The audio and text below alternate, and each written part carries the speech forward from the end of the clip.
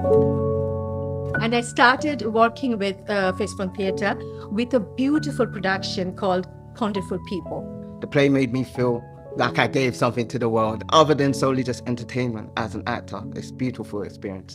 But you want to see it on. It's a bit stretched now. And the ears come down like that. This should go into it because it's it just speaks volumes in regards to you know having a partner one partner sleeps with someone else and then this is the chain of infection I became a professional actor. I mean, there's lo- loads of productions, lots of different shows, street theatre, everything.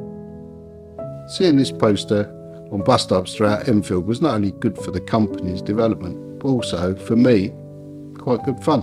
This was such an important subject that we then went on to develop it for young people in schools, special schools and colleges. And we've worked with lots and lots of learning disabled artists and developed their careers. In live theatre, we bring people together in small spaces. We're singing, or touching, all of those things that COVID likes. We had to stop all of that, and yet we still continued.